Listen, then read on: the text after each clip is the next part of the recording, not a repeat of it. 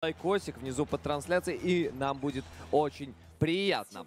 Ну, а мы перемещаемся непосредственно в игру. Первая карта. Best of 3 противостояния. Fireflux Esports находится в синем углу ринга, а Оник находится в красном.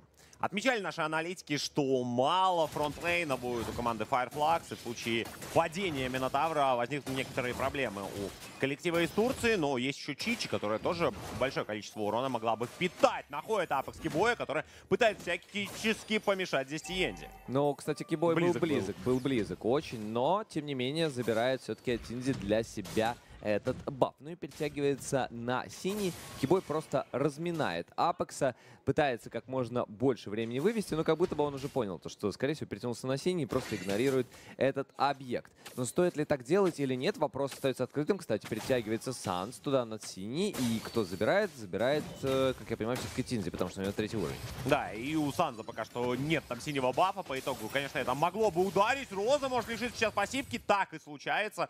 Вынуждена Нана здесь отступать и лететь на базу. Да, конечно, неприятно в early гейме так стоять против Лилии.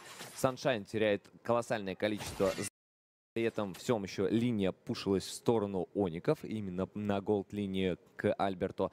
Тем не менее, стоит вроде. Ну и там на топ стяжка была небольшая, там Люнокс, там также имеется и Руби, но и регенерацию уже отдавал Эллен, хотя вполне он может восстановить свое здоровье и с помощью крипов ему достаточно для этого первой способности.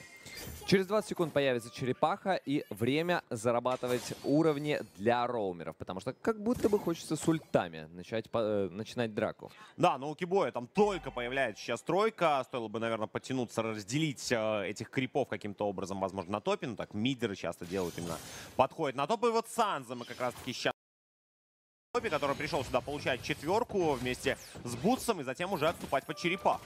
Ну а тем временем центральный коридор запушивает с одной и с другой стороны. Лилия это делает, конечно, поувереннее. Именно поэтому Минотавр помогает Наня. И будет fight под черепахой.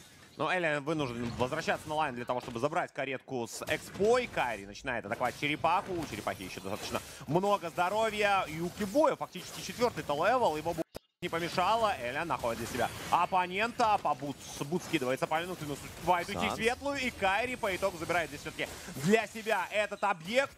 Цепляют Элиана, но все-таки легко его здесь не заберешь. Без киллов расходятся команды. Но Оники-то заполучили очень быстро тысячу преимущества. Да, плюс дополнительно себе объект приобрели. Выбивает флик из Розы. Да, да, спасибо большое. Я тут просто так себе жестикулирую. На всякий случай. Принято. 6700 на 7700. 1к перевес в пользу красной команды. И Санзо бы, на самом деле, помочь запушить эту линию, потому что маны у него не очень много. Сейчас пару скиллов откинет, и как будто бы и все на этом. Но удается запушить, и таким образом можно вернуться. Перетяжка на нижнюю линию готовится. Кибой как же хорошо контролит вражеского лесника.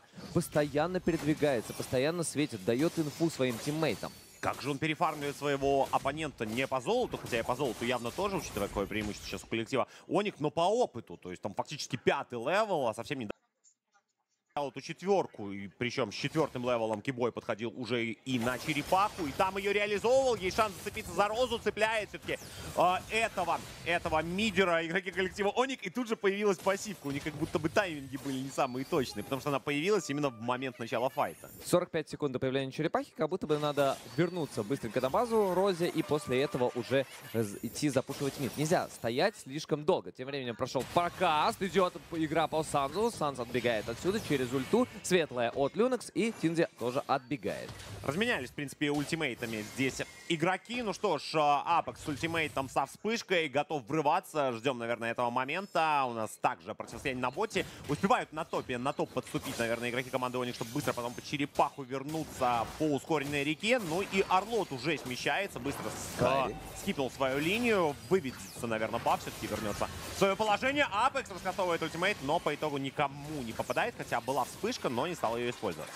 По-моему, это был просто на деф своего лесника, чтобы не подходили, не забирали синий. Апекс теряет больше половины хп. Да, окей, есть отхил, но тем не менее, как будто бы этого недостаточно. Кибой находится в неудачной позиции. Будет инициировать? Нет, пока что. Бут залетает, дается тут же стан по Эллину. Будет играть до самого конца? Нет, но красный баф хотят отжимать. Молния Молин залетает по Каре. Кибой как будто бы до конца гейминг пытается устроить. Но Контроль. Ой, как неплохо. Врыв идет, поиграет по Тинзи. Тинзи должны добивать Карри. First Blood.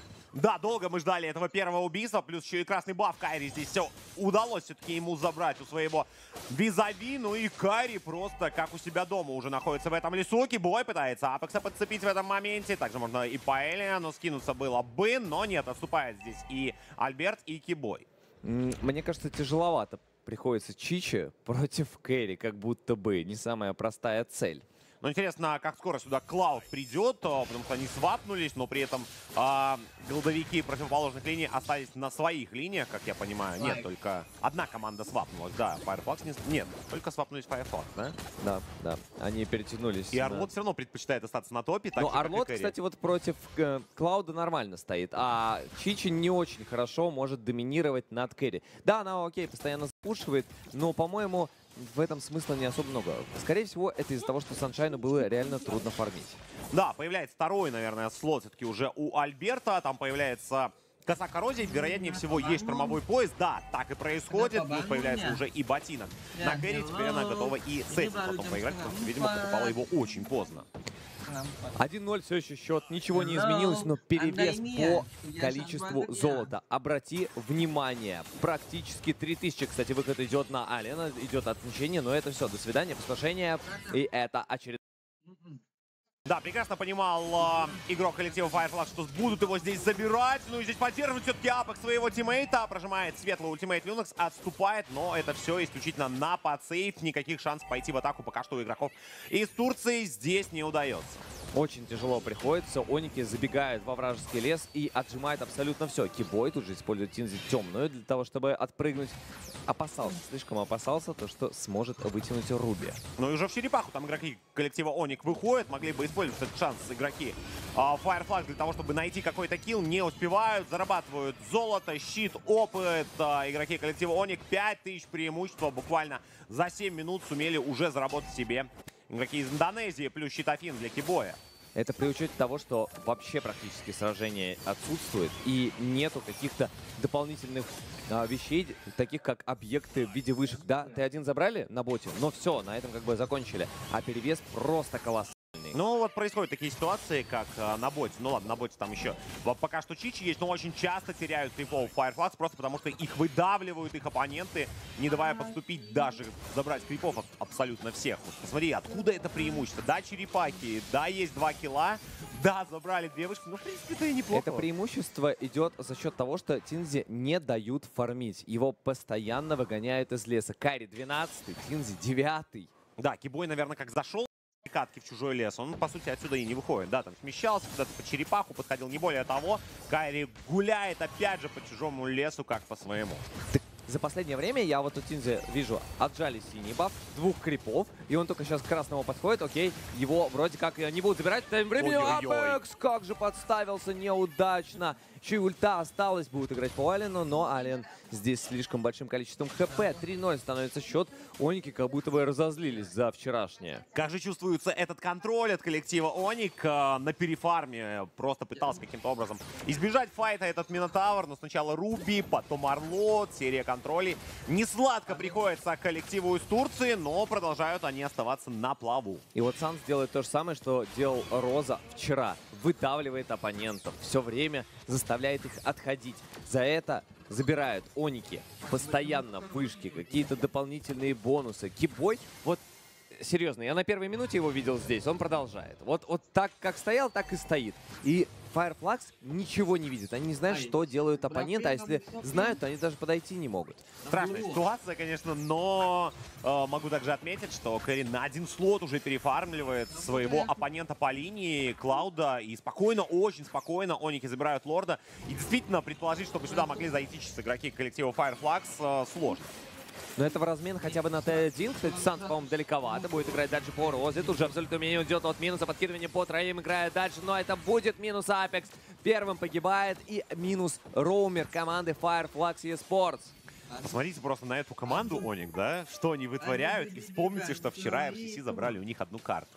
Насколько, насколько хороши в той карте были RCC. Ну что ж, а, Лорд выходит по центральной линии. В это же время Оники отыгрывают по Т2 Таверу на боте. Забирают всех крипов быстро. Можно неплохо подвести крипов, но по боту они чуть пошустрее дойдут. Ну, они хотят просто, чтобы пассивочка Волна сработала. сработала, Да, отлично, и да. это получается реализовать. Окей, теперь по центру будут доигрывать Оники. Смогут ли как-то дефаться. Апекс без ульты. Нету флика. Будет возможность синициировать только чуть попозже, как только появится. Ну и падает пассивка. Т3 вышки на центральном коридоре. Кибой будет ли кого-то цеплять или нет. Минус светлая ульта от Люнекс. Хотят все-таки закрыть этого лорда. И удается это сделать. Кибой пытался раскастовать ультимейт, не очень точно. Задефали Тавр, но это был первый лорд. Чаще всего мы предполагаем, чтобы хотя бы Т2 Тавра упали, но мне кажется, Оники пытаются и во второй раз зайти в базу своего оппонента, учитывая, что у Тавра остается очень мало здоровья, можно было попытаться Кэрри скинуться немного уроном по этому Тавру. И да, с первым боится. лордом забирают Т3 Тавр. Боятся, боятся. А Э, Они, они просто не подходят вообще. То есть они отдают абсолютно бесплатно эти Ой, как Т3 хорошо. вышки. Альберт неплохо, кстати, вытянул не ту цель. Апекс может сыграть. Нет, Апекс в итоге возвращается обратно. Не стал кастовать ультимейт. Опустошение есть у Кайри, но не решил его использовать. В одном темпе могли попытаться сыграть Элиан вместе с Апексом, запрыгнуть, раскастовать ультимейт, э, но не было флика у Апекса, поэтому не мог он добраться до абсолютно всех оппонентов. Вероятнее всего ждут, когда перезарядится флик у Апекса. Но в то же время абсолютно у каждого игрока Оник присутствует эта вспышка, кто ее брал изначально. Минус молния Молины, Роза без ульты. Кстати, играет по Кари Ален, залетает также еще и Люнекс, играет по Свету, но Алена, кстати, можно было попробовать подцепить. В итоге практически снесли Т3 на нижнем коридоре Оники. 11 минута, 4-0. Вот смотришь на фраги и думаешь, ну, все не так плохо, а потом смотришь на карту, а вы как будто бы без строений стоите. Да, но если смотреть и судить вообще исключительно по счету, то кажется, что сейчас на карте идет где-то третья минута. По факту уже 12 пошла маскировочка от игроков коллектива Оник. Забирают Т3 Тавер на боте. Уже есть у Апекса и вспышка, и ультимейт. Возможно, сейчас он где-то его и раскасует. У Санса не так много здоровья. Отдал свой ультимейт, так что можно было попытаться бы по нему сыграть. Буквально 25 секунд остается до появления лорда. Клауд, в свою очередь, пытается на топе найти какое-то для себя золото. Плюс вполне вероятно забрать Т2 строение. Ну, Саншайн рисковал довольно сильно и не наказали за это Оники Fireflux, потому что они были вчетвером, а Саншайн пушил top side. Т2 вышку, скорее всего, крипы не заберут, тем не менее, неплохо продавил все это дело. 5 секунд до появления лорда и будут заходить во вражеский лес Оники. Да, красивую историю на турнире игр будущих написали игроки коллектива Fireflux. Не хотелось бы, чтобы так все грустно заканчивалось. Хотя это всего лишь первая карта. Проблемы у Розы. Роза. Есть пассивка. Роза отступает все-таки из этого файта. Также и Клауд вышел на поддержку вместе с Чичи. Но Чичи уже погибает. Четвером остаются игроки турецкого коллектива.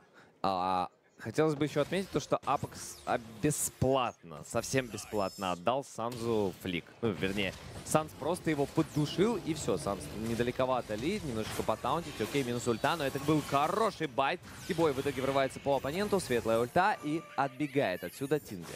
Сохранил Apex э, ультимейт, при этом флика у него не имеется, как ты уже отмечал. Буквально 5 киллов мы увидели в этой встрече, реже, чем э, раз в 2 минуты даже. Килл совершается в этой игре, причем совершается только одним коллективом. Ну что ж, э, Лорд совсем скоро будет покидать базу, но Оники уже готовы врываться в трон. Оники уже здесь, минус светлая, и как будто по Люнс можно сыграть, Санс тратит свой ультимейт, и можно попробовать. Можно попробовать со стороны Fireflux. Если не сейчас, то когда, задается вопрос. Ну, подождать еще 60 секунд, когда откроется флик у Апекса, и тогда уже врываться с этим ультимейтом. Ну что ж, а, доходит лорд до базы оппонентов. Ждем, наверное, действий каких-то от Кибоя. Эм, Не попадает Кибой в этот момент а, своим ультимейтом. И патрону-то начинает наигрывать сам лорд. Возможно, Sunshine, стоило бы трон. помочь игрокам а, коллектива Оник, этому лорду. Апекс раскатывает ультимейт, попадает по двоим, но многие игроки Оник успевают отступить. Сам же Апекс погибает, светлый ультимейт от Люнекс прячется по итогу. Элиан, как же долго здесь живет на своем отомщении. Даблкил уже от Кайри в этом моменте, что Саншайн неплохой ультимейт, но как-то э, в разнобой все эти способности выкидывают, погибают уже и Саншайн. Патрону играет Альберт, должна быть победа. GG, well played. Э, Первая карта достается коллективу Оник. Очень уверенно и методично. И академично, И и очень-очень страшно, как же играть все-таки